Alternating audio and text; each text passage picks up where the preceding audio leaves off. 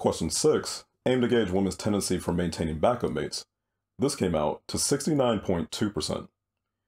Question 7 aimed to gauge women's relationship satisfaction following a decrease in their partner status. This came out to 53.9%.